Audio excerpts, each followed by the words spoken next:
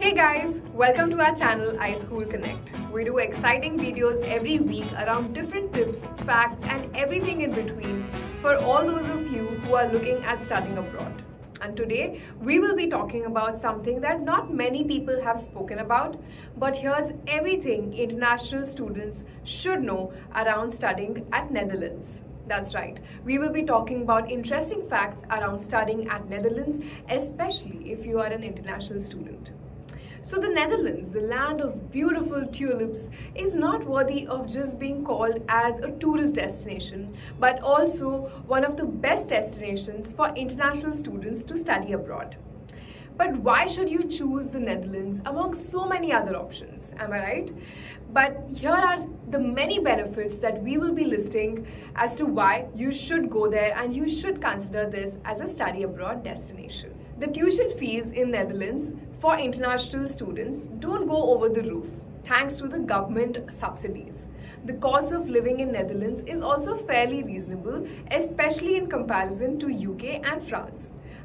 Another rationale in favor of studying here is that the Netherlands university rankings are constantly improving. A degree completed from the Dutch Institute holds great value across the globe. And also, there is no backlog limitations. The next question that we are frequently asked about here, studying here, is that what student life like in the Netherlands? Well, it differs from school to school. However, the majority of international students landing in Dutch universities tend to live on campuses due to affordability factor. Living on campus also has a great prospect in terms of socialization and adapting to the diversity. Moreover, social and community work is an integral part of the Dutch society and it includes students. So you would need to start volunteering for any social cause, whether it's animal welfare, social care, senior uh, care for senior citizens, and or whatever your calling is. Because entering as an inter international student in this country, this would be an imperative. Next up, we would like to throw some light on top universities and programs in Netherlands.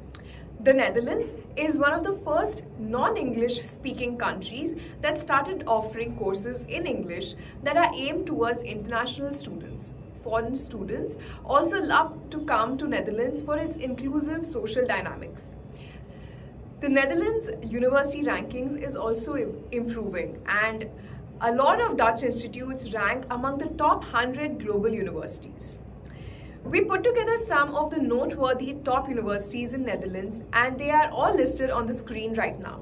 Most of these universities would expect you to have a minimum score of 70% and a minimum of 6.5 on your IELTS.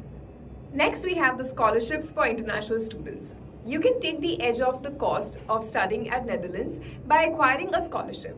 The two general scholarships available to international students here are one, uh, the Holland scholarships and uh, number two is the Erasmus Mundus scholarships in, at Netherlands. In the former, you get a lump sum amount of 5,000 euros in the first year of your bachelor's or master's program. Besides that, individual universities also offer customized scholarships for international students. Apart from this, I would like to tell you that the stayback period of course completion, I mean post course completion is at about six months and you should have a substantial account balance to support your economic backing.